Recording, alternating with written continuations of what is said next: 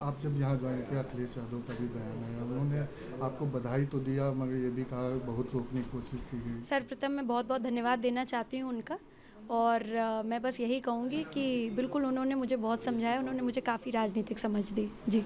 नेताजी से जब मिली तो क्या बात हुई नेताजी मैं नेताजी से कोई विमुख नहीं हूँ मैं उस परिवार की बहू थी बहू हूँ और बहू रहूँगी। और किसी भी बहू का कर्तव्य है कि कोई भी अच्छा काम करे तो ज़रूर अपने बड़ों का आशीर्वाद लेना चाहिए। और नेताजी मेरे लिए ससुर जी भी हैं पिता तुल्य भी हैं पिता हैं तो मैं यही कहूँगी कि मैंने उनका आशीर्वाद लिया। जी। भारतीय जनता पार्टी कंपेनिंग में तो दिख रही है।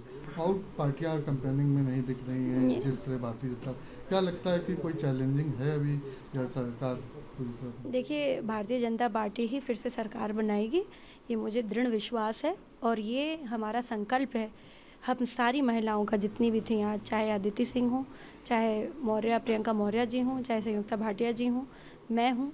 और भी जितनी भी प्रदेश की सारी महिलाएँ आज आई थी, हमारा ये संकल्प है कि हम भारतीय जनता पार्टी फिर से लेकर के आएँगे।